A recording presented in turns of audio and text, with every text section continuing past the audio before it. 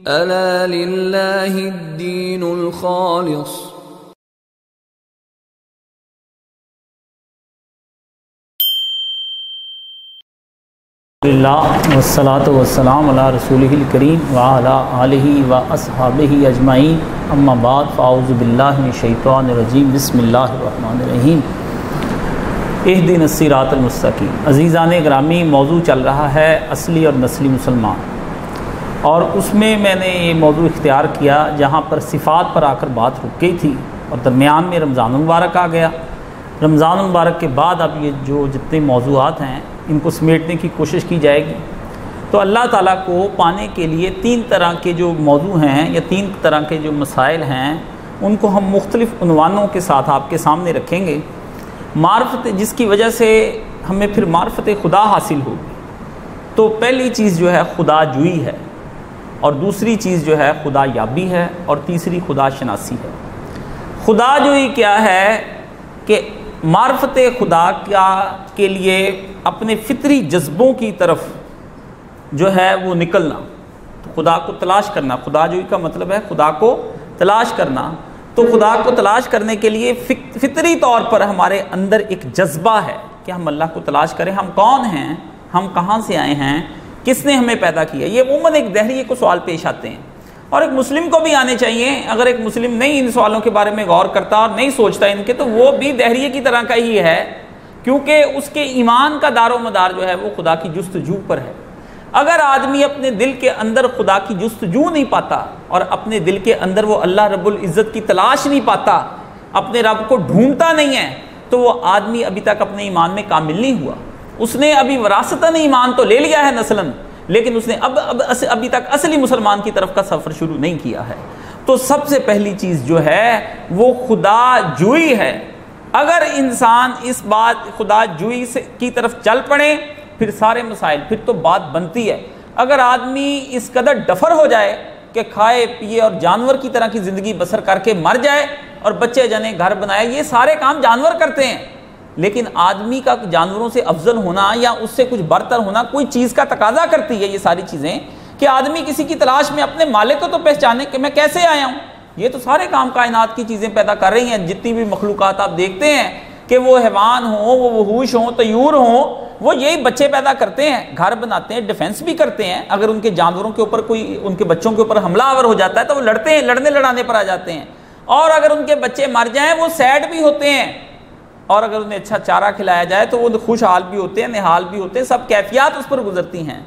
लेकिन इंसान उनके ऊपर, अपने खुदा की जो मार्फत है, वो अल्लाह ने उनके ऊपर मुसलत की हुई है। यानी उन पर जबर किया हुआ कि वो हर वक्त अपने अल्लाह को पाया हुआ है उन्होंने और वो उसमें लगे हुए हैं और अपने अल्लाह की हमदोसना करते रहते इंसान को कहा कि तू अपने लिए रास्ता ढूंढ। इसीलिए पहली सूरज उतारी उसके अंदर ये कहा कि तू ये कह के एह दिन मुस्तकीम। जो मैंने शुरू में पढ़ा, उसके अंदर यह है कि खुदावंद आलम, मुझे आप अपनी ज़ात की तलाश की तरफ़ के जो फितरी जज्बे हैं, उसकी ज़रिए से सफ़र करने की तोफ़ी अता फरमाएँ। पहली चीज़ ये है कि मैं ये चाहता हूँ कि मैं अगर समझदार हूँ, कोई अपने अंदर अकल का मादा रखता हूँ, और हर काम के के लिए मैंने अकल और सोच को बुनियाद बनाया होता है कि दुनिया का कोई काम अकल और सोच के बगैर हम नहीं करते हैं तो मैंने जब हर काम में आ, अकल को बुनियाद बनाया सोचने को बुनियाद बनाया समझने को बुनियाद बनाया तो तफक्र को बुनियाद बनाया फ़िक्र करने को बुनियाद बनाया। तो फिर क्या वजह है कि मैं सिर्फ़ इबादत करने के लिए अपनी इन तमाम चीज़ों को काम में ना लेकर आऊँ? दुनिया की चीज़ों में ये काम लाता रहूँ मैं अपना। तो ये फितरी जज्बा जो इंसान का है ये बात इंसान सोचता है कि मैं कहाँ से आया हूँ किस तरफ़ से आया हूँ किसने मुझको भेजा है? तो इसके लिए इसको कहते हैं खुदा जुई यानी खुदा की जुस्तजू के अंदर निकलना। ये मार्फत का पहला ज़रिया है कि मार्फत को हासिल करने के लिए अगर वो पहले मरहले पर फेल हो जाता है तो फिर खत्म हो गया। यानी ये इसकी मिसाल ऐसे ही है कि जैसे एक आदमी को अंदर से जब प्यास होती है तो वो प्यास को खत्म करने के लिए पानी की तलाश में निकल जाता है। अगर आपके अंदर खुदा की प्यास नहीं है तो आप खुदा की तलाश में कहीं नहीं जा सकते हैं। ये आप अपने जहन में तलाश रख लें। अगर आपके अंदर पानी की प्यास है और जानलेवा प्यास, इसके बारे में भी आप अपना साथ रख लें कि जानलेवा प्यास चाहिए आपको, जानलेवा प्यास। कि अगर ये प्यास ना मिटी तो मैं मर जाऊँगा, मैं खत्म हो जाऊँगा, मेरी ज़िंदगी तबाह हो जाएगी, मैं जानवरों की तरह की ज़िंदगी बसर करने लगूँगा। अगर ये प्यास जानलेवा हद तक नहीं, एक मोमन के अंदर बेदार हुई और एक इंसान के अंदर नहीं बेदार हुई तो दोनों एक जैसे हैं और दोनों डफर हैं और दोनों जानवर हैं, उनकी ज़िंदगी का कोई जीने का फ़ायदा नहीं। अगर वो कहता है, एक प्यास तो है, जैसे आपको एक प्यास हो तो आप वो प्यास जो है, वो इस किस्म की प्यास हो कि अच्छा कुछ देर के बाद पानी पी लेते हैं। या जैसे रोज़े के खुलने का आपको एहतमाम होता है प्यास तो लगी होती है, लेकिन आप कहते हैं कि मगरिब के वक्त में जाकर के पानी पी लूँगा। ये जानलेवा प्यास नहीं होती है। ये एक प्यास होती है जो अपनी एक वक्ती तौर पर आपके अंदर जागती है और जब आप पानी पी लेते हैं तो खत्म हो जाती लेकिन जानलेवा प्यास ये होती है कि अगर मैंने ये ना पिया तो मैं मर जाऊँगा। और आप में से अक्सर रोजा रखकर ये नहीं समझते खोल करके, अगर मैं पानी ना पीता तो मैं मर जाऊँगा। बल्कि विशाल के जो रोज़े रखते हैं, वो तो लंबे लंबे रोज़े रखते हैं। तो इंसान के अंदर की जो प्यास है, जब तक वो बेदार नहीं होती, उतनी देर तक मार्फत खुदा उसको हासिल नहीं हो सकती। वो मंजिलें तय नहीं कर पाएगा किसी सूरत में। इस दिन मुस्तकीम का जो माना है, वो सिर्फ़ यही नहीं कि दिखा, बल्कि फरमाया कि मुझे रास्ता दिखा, चला, चलने के बाद गिर पड़ूं तो दोबारा उठा और जन्नत में पहुँचा, ये चार माने एहतना के अंदर हैं। जब आप ये चार माने करते हैं। अगर ये चारों मानों के अंदर अगर आपने इस तरह की अगर नमाज़ नहीं पढ़ी है, और अभी तक दिन मुस्तकीम एह दिना का माना नहीं समझा है, एहद का मतलब एह दीना एह दीना ना तो हम हैं ना सारे एहद। एहद हदायत ये है कि जब तक मुझे दिखा और उस पर चला, चलते हुए अगर गिर पड़ूं तो उठा, और उठाने के बाद जन्नत तक पहुँचा। ये है जन्नत तक पहुँचाने का मतलब। अगर ये जन्नत तक पहुँच जाना ही उसकी मार्फत है, क्योंकि जन्नत उसकी मार्फत की मादी दलील है। यानी अगर वो आप चाहते हैं कि हमें पता चले कि अल्लाह हमसे राज़ी हो गया है मतलब मैं आपसे राज़ी हो जाऊँ और उसके बाद कुछ आपको न दूँ, ना कुछ करूँ आपके जिमन में और आपके हक में तो आप मेरी रजा को जानने का और जांचने का आपके पास कोई पैमाना नहीं है, कोई कसवटी नहीं है। कोई चीज़ ऐसी होनी चाहिए कि मैं आपकी तरफ़ मुस्कुरा कर देखूँ। अब खुदा नज़र आने से तो रहा, वो मुस्कुराना है उसका कहाँ से? मैं आपके सर पर हाथ दस्ते शफकत फेरूं। आप खुदा आपके ऊपर दस्ते शफकत फेरने से तो रहा कि वो आके सामने आया और बच्चे की तरह आपको प्यार करे। आपको मैं अपने सीने से लगा लूँ ये। तो उसके लिए अल्लाह रब्बुल इज़्ज़त ने फिर ये एक तरीका कार अपनाया कि बंदे को कोई मादी चीज़ चाहिए, ऐसी मादी चीज़ चाहिए जो दरअसल उसकी जरूरतों को भी पूरा करती हो और वो उन जरूरतों का मोहताज भी हो। आप ज़रूरतों के मोहताज है। जन्नत में हर वो चीज़ है जो आपकी ज़रूरत है और आप ज़रूरतों के मोहताज हैं। अगर आप जीना चाहते हैं हज़ारों साल तो आपके लिए वो चीज़ें भी ऐसी हज़ारों साल के लिए रहनी चाहिए कि वो चीज़ें भी उतनी देर ही जिए। मतलब अगर आप इधर बैठे हैं, आपको आपको खाने की तलब है तो खाना भी ऐसा होना चाहिए जो बासी ना होने वाला हो। बीवी अगर आप जवान हैं तो बीवी भी ऐसी होनी चाहिए जो बूढ़ी ना होने वाली हो। और आपको सोना भी, आपको बिस्तर ऐसा होना चाहिए जो फटने वाला ना हो और ख़राब होने वाला ना हो। ऐसे माहौल में आप रहना चाहते हैं जो मुजमहिल कर देने वाला ना हो, थकावट कर देने वाला ना हो, शरीर सर्द ना हो, शरीर गर्म ना हो। यानी ये चीज़ें हैं, ये मार्फत खुदाबंदी का जो नतीजा होगा और जो खुदा की रजा होगी, वो जन्नत होगी। तो जन्नत के हसूल के लिए आपको अपने दिमाग को बेदार करना होगा। अगर आप अपने दिमाग को बेदार नहीं करते हैं खुदा की जस्तजू नहीं करते हैं तो फिर आपके और जानवर के दरमियान में कोई फ़र्क नहीं रह जाता है।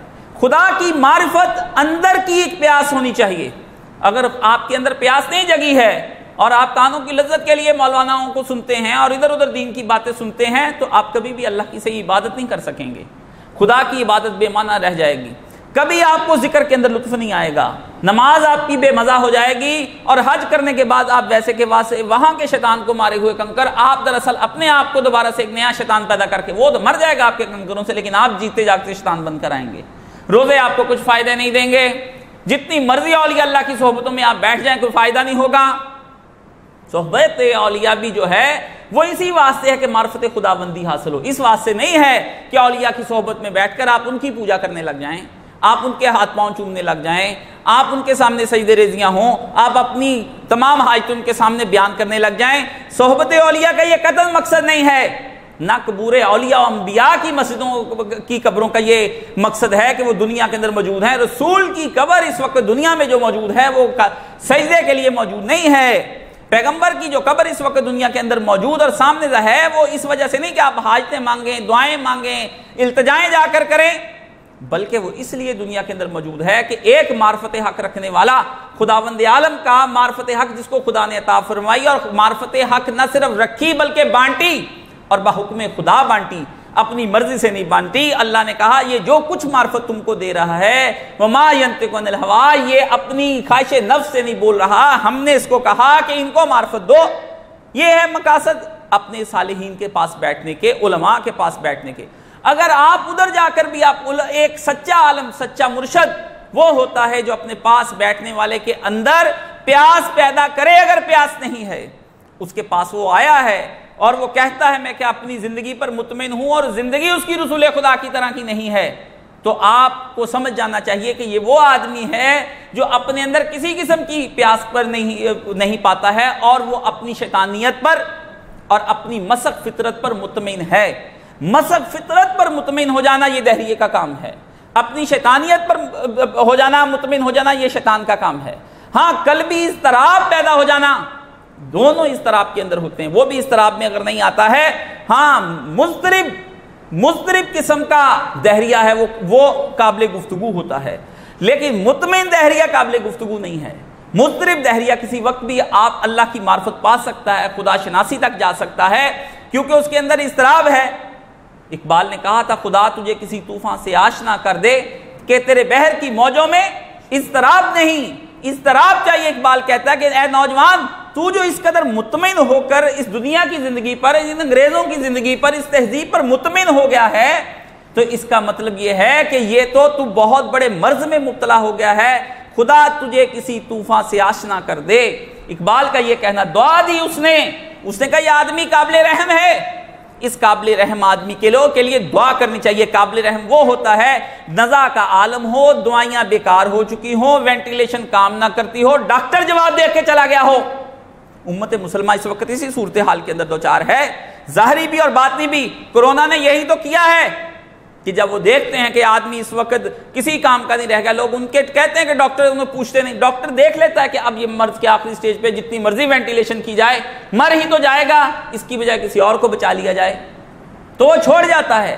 तो यही हालत ये हो जाती है कि जब आप अपने अंदरूनी इस तरह पर मुतमिन हो जाते हैं और ख़त्म कर बैठते हैं और आप कहते हैं, ये जो कुछ हो रहा है, ठीक हो रहा है, हमें तो जहान के अंदर कुछ नहीं सावन के अंधे को हरा ही सूझता है। आप सावन के अंधे हो चुके हैं। इसलिए अगर आपकी अंदर, आपकी उम्मत के अंदर इस तरह नहीं है और दुनिया इस वक्त मुस्तरब नहीं और आप भी मुस्तरब नहीं हैं तो समझ लें आपकी ईमानी तौर पर मौत वाक़ हो चुकी है। कहने को आप अब्दुल्ला हैं, अब्दुल जब्बार हैं, गुलाम रसूल हैं, सब कुछ हैं। लेकिन बताओ तुम मुसलमान भी हो, सब कुछ तो हो तुम। आपके बड़े बड़े नाम होंगे, लेकिन इस तरह अगर आपके अंदर नहीं है और आपके अंदर जान लेवा प्यास नहीं, जान लेवा। कि जो जान ले ले बंदे को मौत के मुँह में धकेल दे वो प्यास अगर आपके अंदर नहीं है तो अभी तक आप ज़िंदा नहीं हैं। मुझे ये डर है कि दिले ज़िंदा कहीं तू ना मर जाए कि जिंदगानी इबारत तेरे जीने से है। ये दिले मुर्दा हो चुका है जिसको आप दिले ज़िंदा समझे बैठे हैं। अगर आपकी तन्हाइयों के अंदर इस तरह नहीं आ रहा है आपकी तन्हाइयों के अलावा आपकी महफिलों में भी इस तरह नहीं आ रहा है अब महफिलें भी, भी वो नहीं रह गई। अगर पहले लोग दिखावे के लिए मुसलमान होते थे, अब लोग दिखावे के लिए भी मुसलमान नहीं होते हैं। अल्लाह अल्लाह, या इलाही, वो कौन सा रिया था जिसकी आपने मजम्मत फरमाई? अब तो मुसलमान पहले बातन के अंदर बुरे लोग होते थे और जहर के अंदर लोग अच्छे लोग होते थे, ये वतीरा था। लेकिन मगरब ने क्या आकर समझाया कि जो मैं हूँ, वो सबके सामने हूँ, मेरा जिसम मेरी मर्ज़ी के मुताबिक। उन्होंने ये सबक आपको पढ़ाया कि तुम कहो मैं अंदर भी बुरा हूँ, मैं बाहर भी बुरा हूँ। पहले लोग कहते थे कि वाइज जो है वो अंदर शराब पीता है और बाहर आकर तकवे का इजहार करता है। अब उन्होंने ये कहना शुरू कर दिया है कि वाइज को दोगली पुलिस ही छोड़ देनी चाहिए। और आपके हाथ कितने हैं? वो कहते हैं, मैंने कभी अपने आप को नहीं छुपाया है। मैं जो रंडी हूँ, मैं तवायफ हूँ, मैं काल गर्ल हूँ, मैं कुछ हूँ। मैं हूँ और आपके सामने हूँ। मैं दुनिया से डरती वरती कुछ नहीं हूँ। देखिए, कहाँ आकर आकर कमान टूट गई, कहाँ आकर तबाही हो गई उम्मत की कि लोग पहले अपने किरदार को छुपाते थे, अब आकर किरदार को तबाह करने पर लगे। ये दुनिया का सबसे बड़ा और मुश्किल और खराब तरीन और और बदतरीन किस्म का मुकाम मुसलमानों के अंदर अब आ गया है कि वो अपने आप का इजहार अब रिया से भी निकल गए। बल्कि वो खुदा के बागी हैं तो तन्हाइयों में बागी थे, तन्हाइयों में सरकश थे, तन्हाइयों में नाफरमान थे। अब सरेआम भी वो बागी हैं, सरेआम भी वो सरकश हैं सरेआम भी वो नाफरमान है खुदा की तो क्यों? क्योंकि उनके अंदर खुदा जुई की कोई तलब नहीं है। खुदा की कोई ज़रूरत नहीं महसूस करते हैं वो। अभी आज एक साहब मेरे पास बैठे थे, काल में दिन गुफ्तगु कर रहे थे कि एक कादियानी ने उनके कहा, ये नबी की इम्कान आना चाहिए कि नहीं आना चाहिए नबी? इम्कान नबूवत पर गुफ्तु हो रही थी।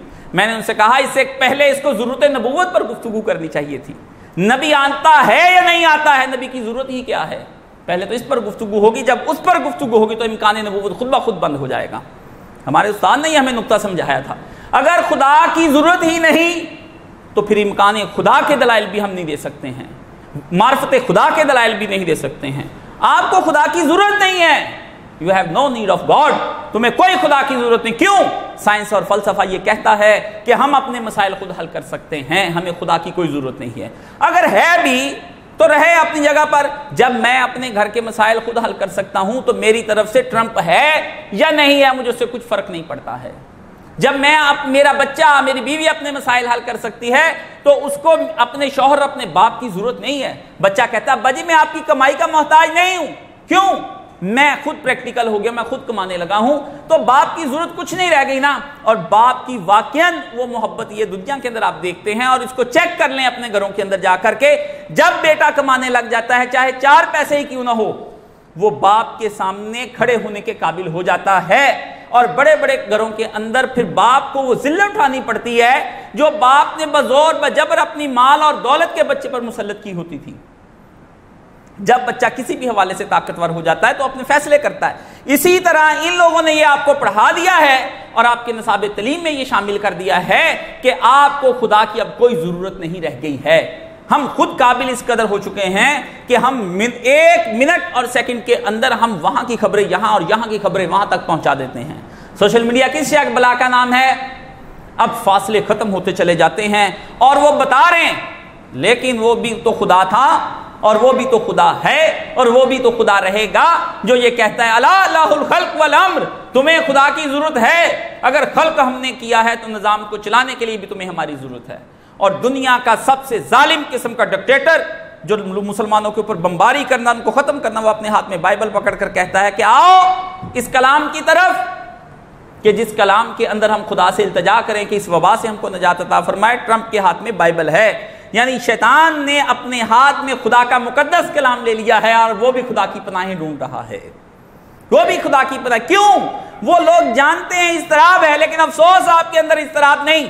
अभी साठ मुल्क हो गए, साठ मुल्कों के हुक्मरानों के अंदर अभी इस तरह नहीं। किसी एक हुक्मरान ने जो रियासत मदीना से लेकर रियासत मक्का तक के दरमियान में बैठे हुए हैं, किसी जगह कुरान पकड़कर अभी तक नहीं कहा गया कि आओ, खुदा से इल्तजाएँ करें, और वो आपको दुनिया की हर्ड इम्यूनिटी के अंदर धकेल देना चाहते हैं। जानते हैं हर्ड इम्यूनिटी क्या ये एक नज़रिया है जो पैदा हो गया जिस पर अमल शुरू हो गया कि स्वीडन ने कहा हर्ड इम्यूनिटी एक ऐसी आपके अंदर कुत मुदाफियत पैदा करना चाहते हैं कि आम कर दो, लोगों को मिलने जुलने दो। जो इसके अंदर बूढ़े होंगे और बच्चे होंगे, वो तो जाएँगे मर। लेकिन जो बच जाएँगे अपनी कुत मुदाफियत के ज़रिए से वो लोग ज़िंदा रह जाने वाले होंगे और फिर वो दोबारा कभी नहीं बीमार होंगे और कोरोना वायरस का मुकाबला कर सकेंगे। इसलिए उन्होंने कहा कि पूरी मुस्लिम उम्मत के अंदर ये लॉकडाउन खोल दिया जाए। आप समझते हैं, वो आपकी गुर्बत की तरफ़ देखकर, अगर गुर्बत की तरफ़ देखकर लॉकडाउन खोला जाता तो बंद ही क्यों किया जाता? कि आपके दिमाग बंद हैं? ये आलमी साजिशें हैं और स्वीडन में खुल गया और वो लोग अब हर्ड इम्यूनिटी के लाखों लोग मरते हैं तो मर जाए। एक दफ़ा खोल दो इस वबा को, फैलने दो, हम देख लेंगे खुदा को भी और खुदा के निज़ाम को भी, जो बच जाएँगे वो खुदा से बच जाएँगे। अल्लाह अल्लाह अल्लाह। आने दो, तूफ़ान नू अगर आता है, कश्तियाँ हमारे पास हैं, हम बच जाएँगे। आने दो, अगर तूफ़ान नू आता है। ये है, आपकी हुकूमतों से लेकर आपके फर्द फर्द के अंदर खुदा जुई का कोई इस तरह नहीं पाया जाता है। खुदा को तलाश करने का कोई इस तरह नहीं पाया जाता है। कोई आदमी खुदा के इस तरह के लिए नहीं है कि मैं खुदा के लिए क्यों मुस्तरब हो जाऊँ? किस लिए? ये जब तक सवाल नहीं हल होगा उतनी देर तक आपके अंदर अल्लाह से कोई मोहब्बत नहीं पैदा हो सकती है। ये सब हलावत, ईमान ईमान की मिठास, ईमान की लज्जतें, ये कुछ नहीं है।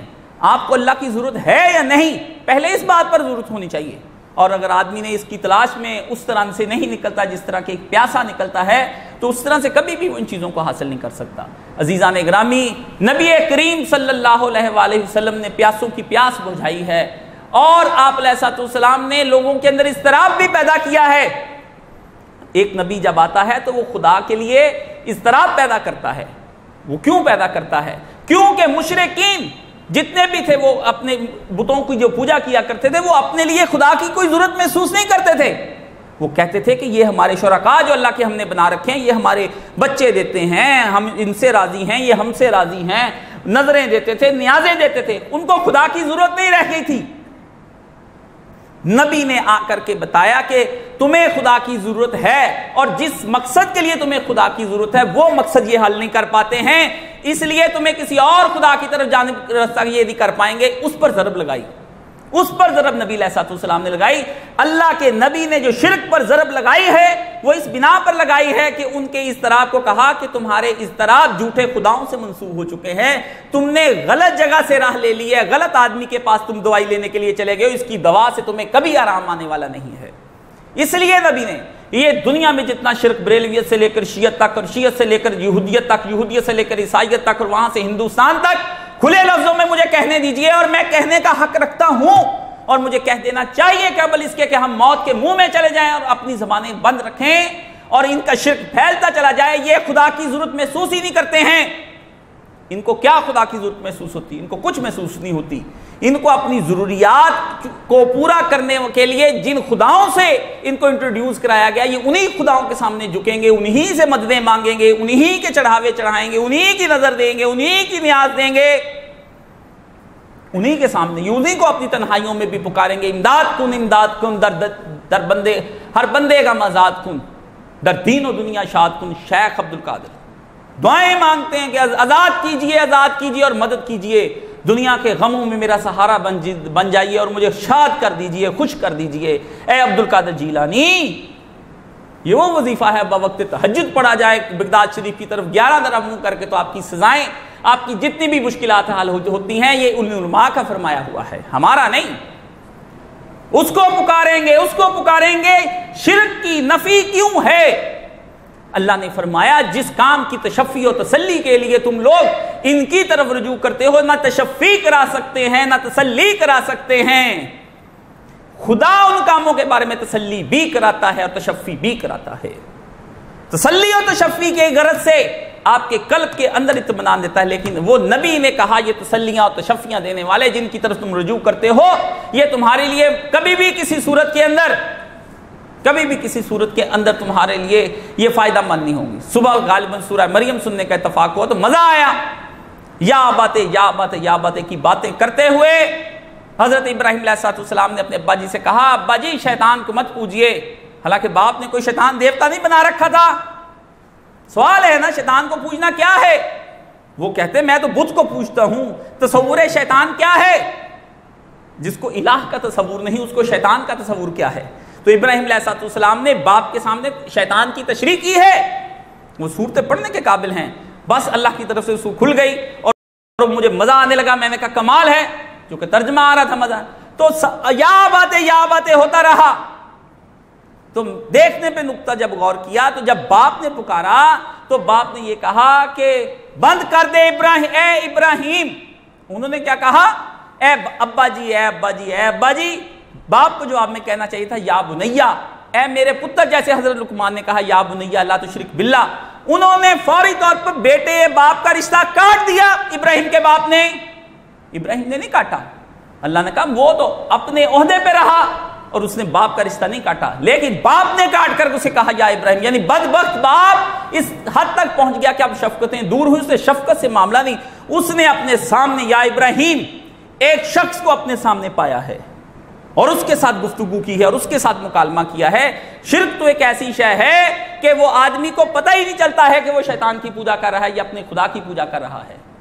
यह है वो बुनियाद मुसीबत यह है कि ये शिरक की तसलियाँ और तशफियाँ करने वाले शिरक हैं। ये बताया जाता है, ये देते हैं कि नहीं देते हैं। बात खत्म की जाए, दो हद, दो लफ्जों में खत्म की जाए।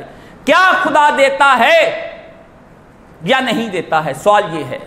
अगर वो देता है तो उसकी देने की शान क्या है? उसका देना क्या कोई नक्स रखता है अपने अंदर? कि है तो है आपको तीन गिलास पानी की ज़रूरत है, लेकिन वो बेचारा आधे गिलास का मालिक है, वो आपको वही कर सका है। ये तो सूरत है। खुदा के देने में क्या नक्स है जो आप औरों से मांगते फिरते हैं? खुदा के देने में कौन सा नक्स आपको नज़र आया? खुदा के जूदो कर्म में, फजल में कौन सा नक्स नज़र आया? खुदा की रहमतों, बरकतों, गफूरियत और रहीमियत और रहमानियत के अंदर कौन सा फ़र्क नज़र आया? कौन तुमको तुम्हारे दिल में यह ख्याल पैदा हुआ कि यह बदबख्त खुदा मेरा मेरा घर बनाने, पूरा करने के लिए आता मुझे किसी और दरवाजे पर दस्तक देना चाहिए। यह दाहिया तुम्हारे अंदर से किसने पैदा किया? ये तस्वुर खुदा ने। और तस्वर खुदा ने कि तुम्हारा तस्वर खुदा इसलिए नाकस था कि तुमने खुदा, जिस खुदा की तलाश की है, वो खुदा नाकस ही तो थे। जब ही तो एक नहीं, दो नहीं, तीन नहीं, हज़ारों दुनिया के अंदर मजार और कब्रें बनी हुई हैं और बुत बने हुए हैं जिनके सामने जा जाकर के झुकते हो। एक आध दुनिया के अंदर कब्र होती और उस कब्र पर आपकी पूरी पड़ जाती तो ना आप इधर जाते, ना इधर जाते, कुछ मशरक में, कुछ मगरब में, कुछ दाएँ, कुछ बाएँ। आप कभी किसी रुख पर नमाज़ पढ़ते हैं, कभी किसी रुख पर नमाज़ पढ़ते हैं। अल्लाह ने आपको जो सिमत ये कही है कि एक ही वजह तो वजह दी मैं अपने चेहरे का रुख ये दाएँ, बाएँ इधर उधर से करने की बजाय, खुदा ने सिमतों का मुतयन करने की बजाय कहा कि कहो ए इब्राहिम, के मैं अपने चेहरों का रुख अपने इलाह की तरफ़ फेरता हूँ, जिसने ज़मीन और आसमान को खल्क किया है। वजह उसके बारे में। अगर इन लोगों ने ज़मीन और आसमान को खलक किया है, इन मुशरकों ने हिंदुस्तान की दुर्गा देवी ने किया है, लक्ष्मी देवी ने किया है, राम ने किया है, लक्ष्मण ने किया है, दशरथ ने किया है तो ये दुर्गा देवियाँ और ये सब चीज़ें, इनको भी। अगर तो ये हज़रत ईसा ने किया है, हज़रत मरियम ने किया है, हज़रत उजैर ने किया है, अगर एहरमन ने किया है, यजदा ने किया है तो रुख करो ना। ना खल्क किया ज़मीन को, ना खल्क किया आसमान को, ना उसके दरमियान में जो मौजूद था, खुदा ने का खल्क किया, हमने खल्क किया। तो जिसने खल्क किया, रुख भी उसकी तरफ़ होना चाहिए था। अंदर खुदा जो ही नहीं है। सारी तोहीद सीखने के अंदर असल चीज़ यह है कि अगर आपके अंदर जुस्तजुए खुदा नहीं, उसको फाइंडिंग नहीं आप करना चाहते हैं तो छोड़ दीजिए ना। फाइंडिंग की बुनियादें क्या हैं ये आप मुझे बताइएगा। तलाश की बुनियाद देखनी पड़ेगी कि अगर आप खुदा को तलाश करते हैं, उसकी बुनियाद क्या है। अगर आप समझते हैं कि मुझे खुदा की कोई ज़रूरत नहीं है तो बिलाशुबा मैं आपसे कहता हूँ, खुदा को मानने की भी कोई ज़रूरत नहीं है। लेकिन अगर आप अपने अंदर ज़रूरत खुदा महसूस करते हैं, आपका कलब इन तमाम दुनियावी ख्वाहिशों से अलग होकर किसी एक की तमन्ना के लिए, अपने मालिक और अपनी असल को ढूँढने के लिए अगर मुस्तरब है तो फिर तो आप खुदा को पाएँगे। लेकिन अगर आप मुस्तरब नहीं हैं तो खुदा को नहीं पाएँगे। शिरक की बुनियादें ये हैं कि उन्होंने भी खुदा की तलाश की है, लेकिन उनकी तलाश जाकर के खुदा के शरीकों पर जाकर रुकी है। मोमिन भी खुदा की तलाश पर जाता है। लेकिन वो जाकर के एक पर रुकता है, यहाँ करोड़ों पर रुकते हैं। उम्मीदें वाबस्ता उससे कर लेते हैं। खुदा की तलाश के कोई अभी तक पक्के पक्के इसबाब इंसान अपने अंदर कोई तलाश करे तो वो खुदा को पा सकता है। वरना फिर वो नहीं पा सकता है। एक आदमी जब चश्मे तक पहुँचता है तो उसको पता चल जाता है कि ये उसकी फितरत बता देती है कि ये पानी गंदा है, ये पानी पाक है। एक मोमिन जब जाता है तो वह अपनी अगर उसने फितरत मसख नहीं की हुई है और अपनी फितरत को तबाह नहीं किया हुआ है और अभी सोचता है तो खुदा उसकी मदद करने के लिए ज़रूर अब तक उसको चश्मा साफी हो वाफी हो काफ़ी पर ले आएगा। इसलिए जो कहते हैं, या काफ़ी, वो काफ़ी क्या है? अल्लाह कहता, मैं अकेला काफ़ी हूँ। लेकिन आप कहते हैं कि, नहीं, और भी काफ़ी हैं, और भी काफ़ी हैं। तो शाफी अगर है तो अकेला काफ़ी है और हर काम के लिए काफ़ी है। व कफ़ा बिल्ला शहीदा कफ़ा बिल्ला वकीला नेमल वकील, नेमल मौला व नेमल नसीर। आपके लिए मुसीबत यह है कि आप खुदा नहीं तलाश कर रहे हैं। उम्मत मुसलमत भी तलाश नहीं खुदा को करना चाहती है। वो कहते हैं, इन्हीं हालात के अंदर जैसे हमारे हालात हैं ठीक ठाक हो जाए। हम जहाँ पर हैं, हमें यहीं पर रहना, रहने दिया जाए। हमें हम यहाँ से हिलना नहीं चाहते हैं। आपका मसला यह है कि आप हिलना नहीं चाहते हैं। आप कहते हैं, जहाँ मेरा बाप बैठा गया अकायद में, मैं वहीं बैठा रहूँगा। आप कहते हैं, जिन मेरी मेरी जिस किस्म की तोहीद मेरी माँ ने बताई थी, मैंने वैसे ही तोहीद पर रहना है। आप कहते हैं कि जिस किस्म के मेरे रसालत का जो मनसब है, उसकी जो समझ मेरे बाप ने और मौलानों ने दी है, वो मैंने वही लेनी है, कुरान से हमने नहीं लेनी है। तो फिर आप कादियानी भी होंगे, आप खुदा के अलावा शिरक भी करेंगे, आप इस दुनिया में बदमालियाँ भी होंगी। क्यों? आपके जहन में यह है कि खुदा क्यामत के दिन जो हिसाब लेगा, वो कोई इतनी बड़ी बात नहीं होगी। लेगा तो काफरों से लेगा, हमसे उसने हिसाब क्या लेकर करना है? और अगर आप ये बात कहते हैं, काफरों से लेगा तो किसी जमाने में आप ही की तरह के मोमन बनी इसराइल भी थे। वो भी किसी ज़माने में खुदा के चहेते थे और वो भी बनी इसराइल, वो भी मोमिन होते थे किसी ज़माने में। वो भी कभी खुदा के कागज़ों में मुस्लिम लिखे जाते थे। उनको सजाएँ किस लिए दी गई हैं? जिसको कुरान में कहा कि हमने उन पर जिल्लत और मस्कनत नाजल कर दी। हमें ये किस्सा सुनाने का मतलब क्या है? अगर कोई आदमी आपको कोई बात सुनाता है किसी वजह से तो आप कहेंगे, मुझे ये बात आपने किस घर से सुनाई? बतौर गिबत सुनाई, बतौर चुगली सुनाई, बतौर इबरत सुनाई, बतौर तंबीद सुनाई, या बतौर धमकी के मुझे सुनाई। बात सुनाने का मकसद क्या है?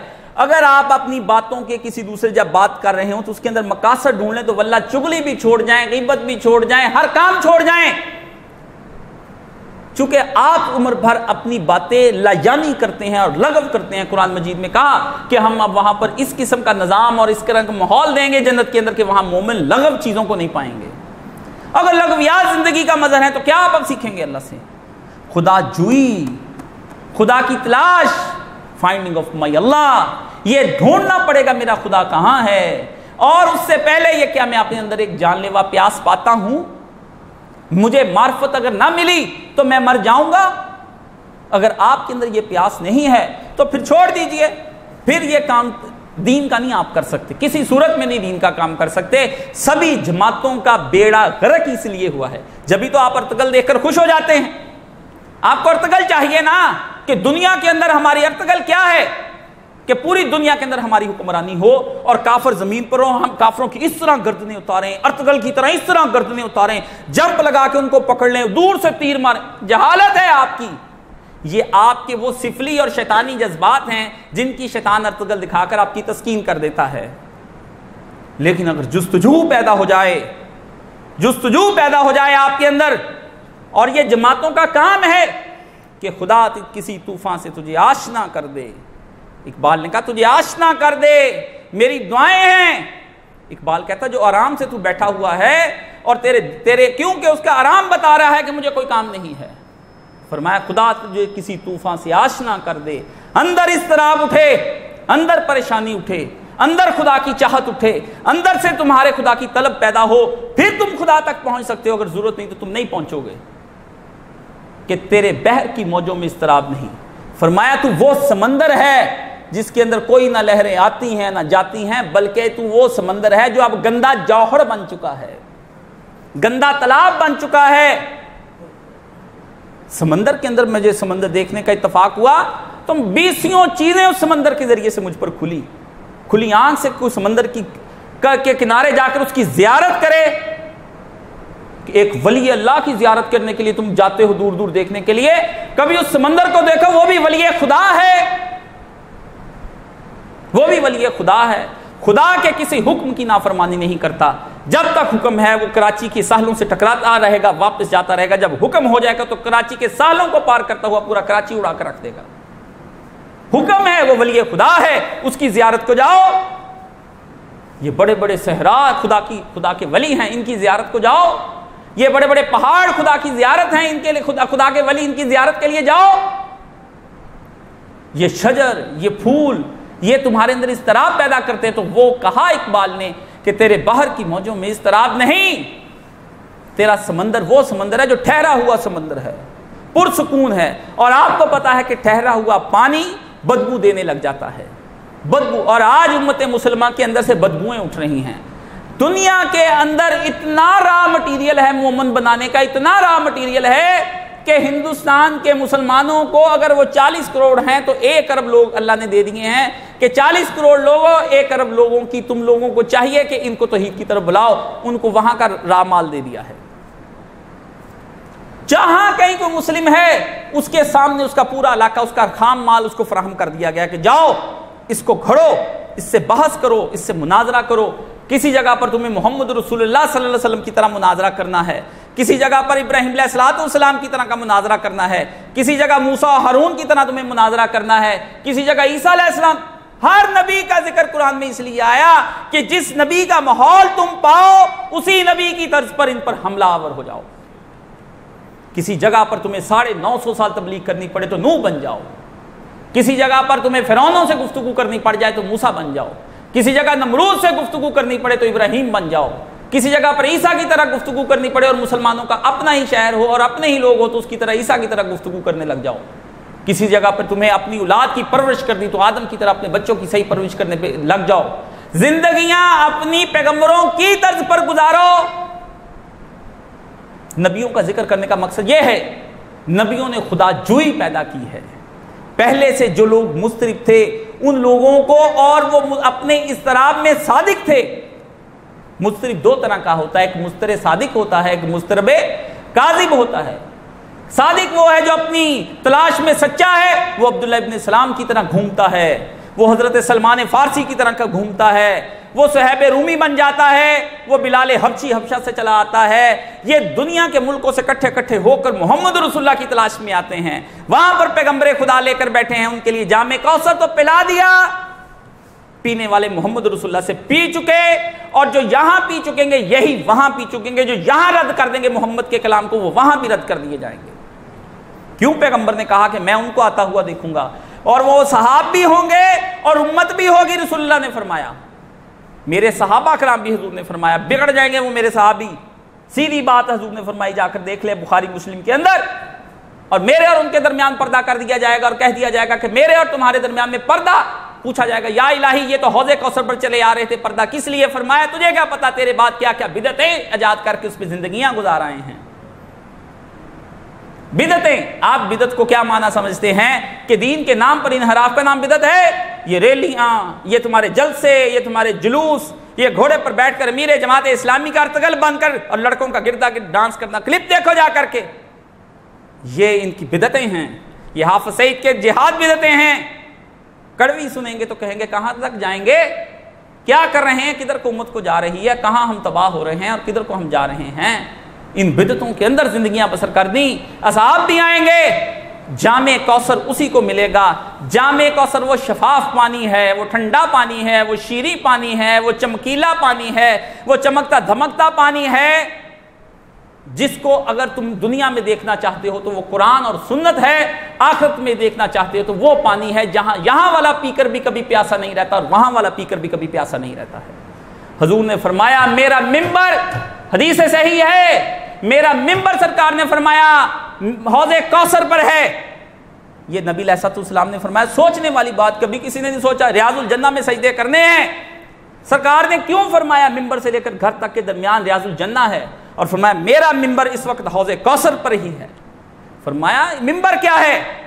कि मैं जहाँ बैठा कुरान सुन्नत तुमको समझा रहा हूँ, ये समझो, हौजे कौसर ही तुमको पिला रहा हूँ। अफसोस के अफसोस कोई। और पैगंबर ने जो सादिक थे, उनको जब हौज कौसर पढ़ा है, पिलाया, जामे कौसर दिया, इन्ना आता इना कल कौसर। ए प्यारे पैगंबर सल्लल्लाहु अलैहि वसल्लम आप जानते हैं, हमने आपको क्या दिया है? खैर कसीर अता फरमाया।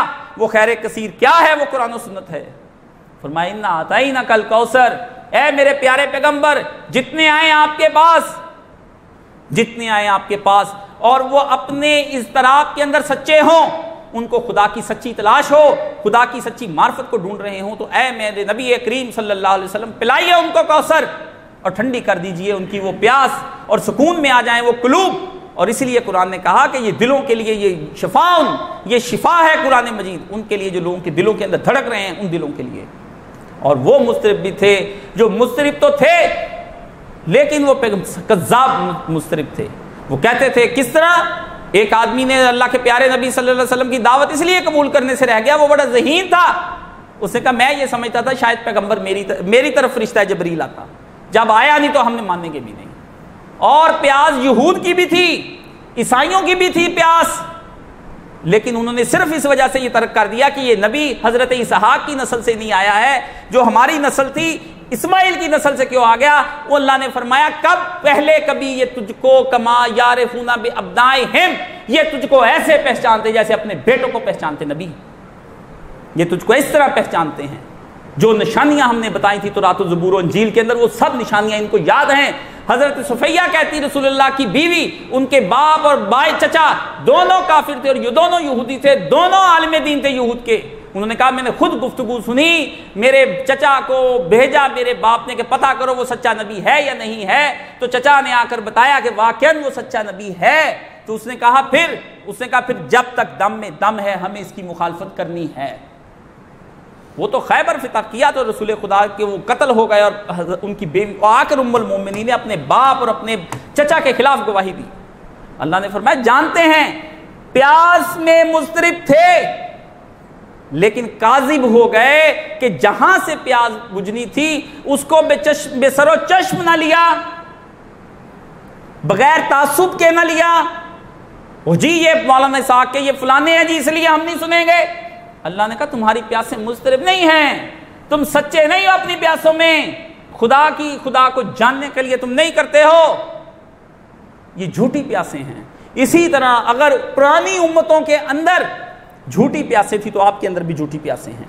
हजूर ने फरमाया कि मेरी उम्मत में से लोगों का एक ग्रोह होगा।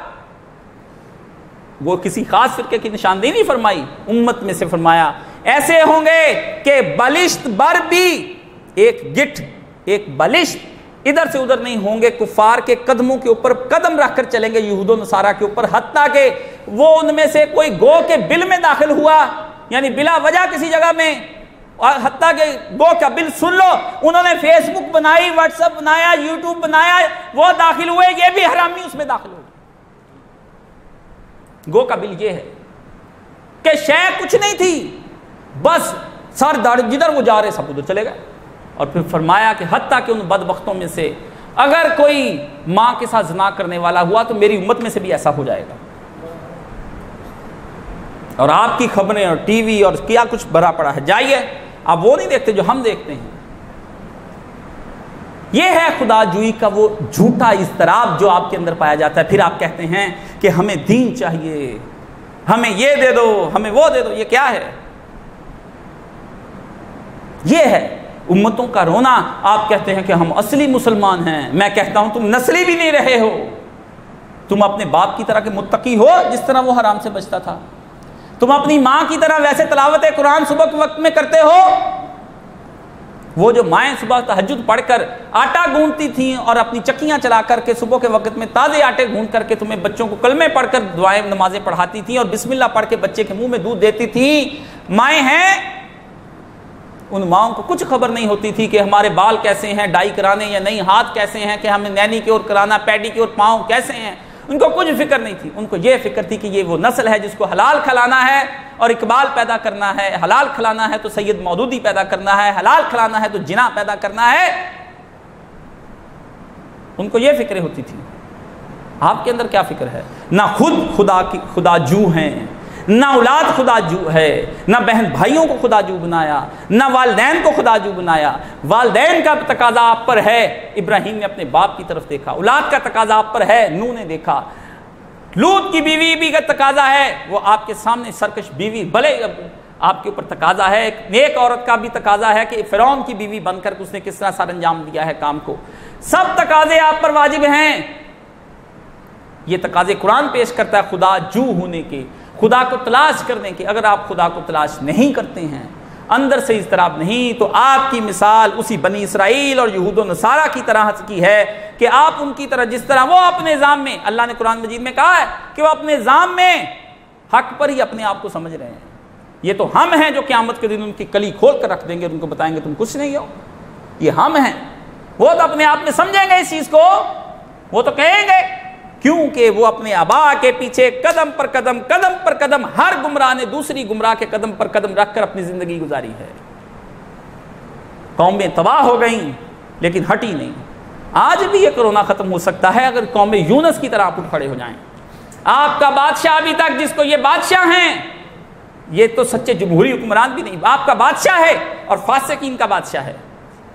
जोलेमीन का बादशाह है। बदकारों का बादशाह है। सब मुजरमों का मात, इमामुल फासिकीन वल मुजरमीन है ये बादशाह। जिसने एक दिन भी आकर आपको नहीं कहा कि हमें खुदा से डरना है, कोरोना से नहीं डरना है।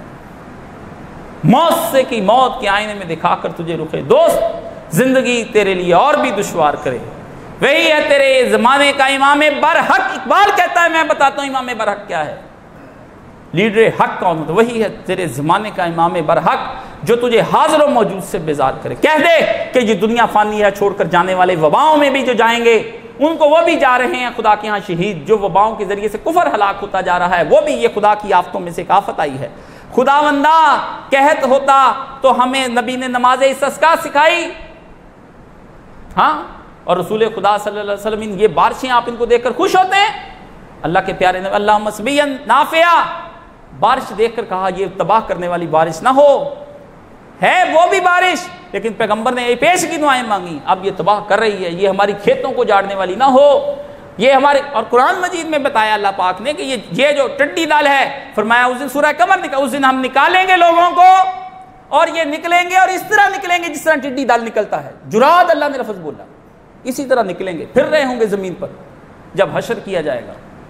करोड़ों की तादाद में होंगे और आसमान छाए छा जाते कोई आपके लिए। खुदा जुई होगी, खुदा की ज़रूरत महसूस होगी। कलब मुस्तरब होगा तो दुआ मांगेंगे ना। जब हमें ज़रूरत नहीं, हम स्प्रे कर लेंगे, वैक्सीन तैयार कर लेंगे, हम लड़ेंगे। कौम को जब ये सबक दिया जाएगा तो कहाँ खुदा कहाँ खुदा की तलाश, कहाँ खुदा की मार्फत, कहाँ खुदा शनासियाँ, कहाँ पर? आपके मशवरे, आपके काम बताते हैं, आप खुदा को तलाश नहीं कर रहे हैं। आपको पता हो कि सच्चा महबूब हकीकी हमारा वहाँ पर जा पर मौजूद हुआ है। तो आप लाखों के मजमे में उसको तलाश कर लेंगे। आप जाएँगे मुशक्क़तें उठा करके, मुशक्क़तें उठा करके। मेरे एक दोस्त ने मुझे बताया, फलां शहर में उसका महबूब रहता था। तो किसी ने पूछा, वो डेढ़ घंटे का रास्ता कहता, आधे घंटे में तय करके मैं वहाँ पहुँच गया मिलने के लिए। मुझे उसने इतना बताया कि फलां जगह पर हम खड़े हैं। यानी इंसान की स्पीड जिस चीज़ से वो प्यार करता है, वो बढ़ जाती है। आपकी स्पीड ही कोई नहीं है।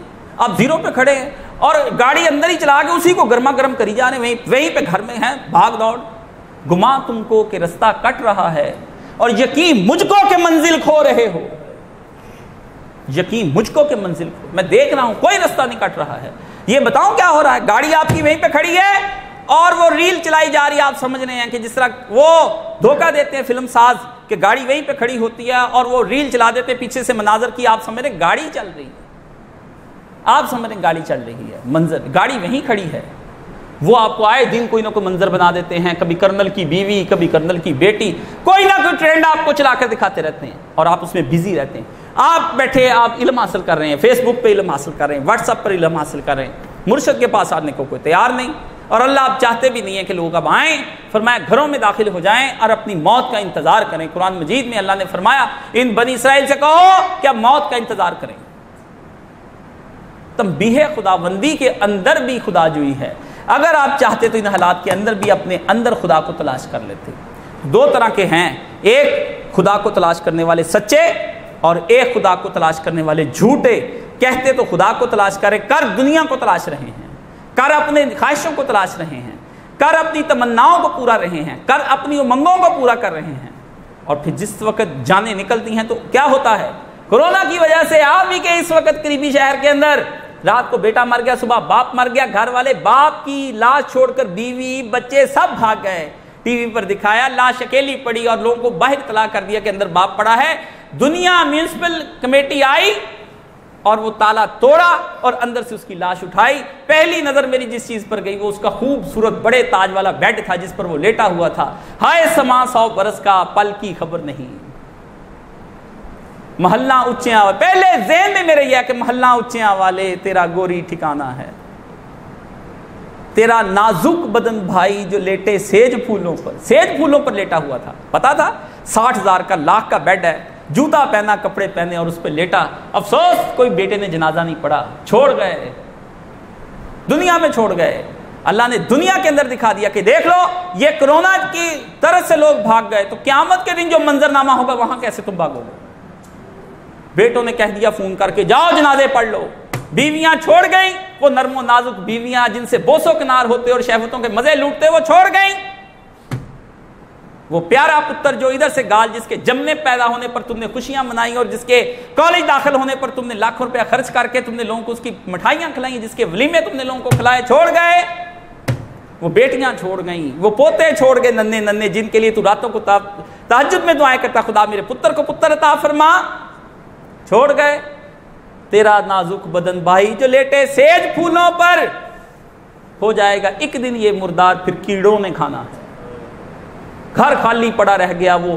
पचास लाख, सत्तर लाख, उससे कर्जा मांग, उससे कर्जा मांग। मैं चाहता हूँ मेरी ख्वाहिशों का ताजमहल बन जाए। बन गया फिर ख्वाहिशों का ताजमहल और उसके अंदर तेरा मकबरा बन गया। खुदा को तलाश करके वो नस्ल न दी। नस्ल नहीं छोड़ी। नस्ल नहीं छोड़ी। अल्लाह अल्लाह क्या कहने? ये क्यामत आई हुई है। इसके अंदर किसी को खुदा की नहीं। ये क्यामत आई हुई है। छोड़ गया, उस दिन छोड़ जाएगा तुझको तेरा भाई। साहिबाती ही, व खी ही, व उम्मे ही, व बनी ही। बेटा छोड़ जाएगा, भाई छोड़ जाएगा, माँ छोड़ जाएगी। हाय हाय, अभी ही। पुत, अब्बा गोदियाँ लाड लड़ाए, माँ छातियों से लगाए। हैं, साहिबाते ही, बीवी छोड़ जाएगी। बड़े दुल्हनों को ब्याह कर लाया था, जेवर डाल कर लाया था लहंगे महँगे डाल लेते उनको। कमाल की इधर फुलपत्तियाँ बरस रही थी, वो आतिशबाजियाँ हो रही थी, वो आ रही थी घर में उससे इस्तकबाल के लिए सास, सदके वारी कुर्बान, बहने लाग लेती हुई बीवियाँ। लाख देती बीवियाँ दस दस लाख बीस बीस लाख पचास पचास लाख करोड़ करोड़ रुपया लगाकर शादियाँ की हुई बीवियाँ छोड़ जाएँगी। क्यों? तुमने खुदा जोई नहीं की। खुदा को तलाश कभी ना उनको लगाया, ना खुद लगे। जाकर बीवियों से, बच्चों से फैसला करो कि क्या है, कि तुम क्या करोगे। कल ही की बात है, जिसने जवेद गांधी साहब का अदारा बनाया तो वो वो उनकी वफात हो गई। तो उसने बहुत पैसा लगाकर बनाया, मैंने चूँकि देखा हुआ है, मैं इसलिए अखीर कर दी उसने किताबों इंटरव्यू ये था कि आपने अपना घर क्यों नहीं इस तरह का बनाया? कहा, मैंने इस बिना पर यह अदारा बनाया, और मैंने कहा कि ये घर बाकी रह जाने वाला है, जो खुदा को देने दिया जाएगा। और वो घर जो मैं बनाऊँगा, वो बाकी रहने वाला नहीं है। तो मैंने ट्रांसफ़र कर दिया इस घर को, उस घर के लिए जिसमें मैंने आखिरत में रहना है। तो जब दिल में ख्याल आता है, जब दिल में ख्याल आता है कि तुम्हारा घर किराए का है तो तसल्ली हो जाती है, मेरा घर किराए का नहीं है, मेरा घर आखिरत में अपना है। दिल को तसल्ली हो, कोई छोड़ तो जाना है। छोड़ना नहीं। खुदा के लिए खुदा को तलाश करने की कोशिश करें। असली और नस्ली मुसलमान के दरमियान, वो कहता ना इसके और उसके दरमियान फ़र्क करके जियो। तो मैं भी तुमको कहता हूँ, असली और नस्ली मुसलमान के दरमियान फ़र्क करके जियो। अल्लाह ताला आपको अपनी तलाश में जो आप सरगर्दा हैं, अपनी मार्फत अता फरमाए और अल्लाह ताला जो लोग मार्फत नहीं चाहते, उनके अंदर इस तरह पैदा फरमाए और आपके इस तरह को बढ़ाए। व आखिर दावाना अलहमदिल्ला रबालमी